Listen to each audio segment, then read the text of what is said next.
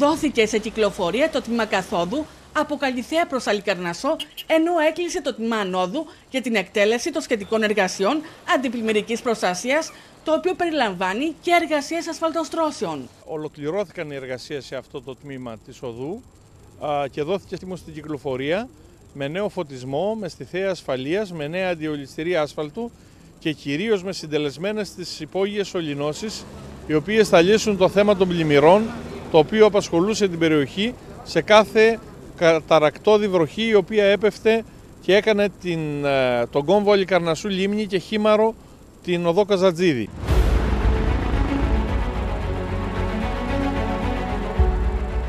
Ωστόσο, το μαρτύριο των οδηγών στις ουρές χιλιόμετρων και ταλαιπωρίας στην οδό Καράτζη, στη βιομηχανική περιοχή, θα συνεχιστεί μέχρι και το φθινόπωρο, καθώς τότε εκτιμάται ότι θα έχει ολοκληρωθεί το αντιπλημμυρικό έργο. Αυτό το έργο προϋπολογισμού 4.350.000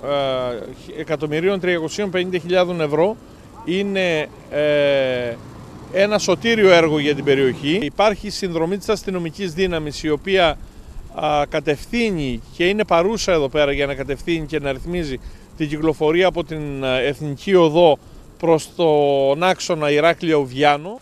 Το επίμεχο έργο ξεκίνησε το περασμένο Νοέμβριο με συνολικό χρονοδιάγραμμα τους 12 μήνες. Υπομονή στους οδηγούς νιστά ο Νίκος Κούλας, ο οποίος εξέφρασε την ικανοποίησή του για την πορεία εκτέλεσης των εργασιών και σε ένα έργο που πρόκειται να θωρακίσει την περιοχή από τα πλημμυρικά φαινόμενα, αναβαθμίζοντας παράλληλα τις συνθήκες οδικής ασφάλειας. Αναμένεται και αυτές να είναι μπροστά από το χρονοδιάγραμμα, ούτως ώστε πριν το φθινόπωρο να δοθεί σε κυκλοφορία. Με αυτόν τον τρόπο θα έχουμε λύσει ένα σοβαρό θέμα κυκλοφοριακής επικινδυνότητας το οποίο υπήρχε τόσα χρόνια από την έλλειψη μελετών διευθέτησης των νερών της βροχής τα οποία έπρεπε να πηγαίνουν στη φυσική τους κήτη που είναι το ρέμα του Κατσαμπά.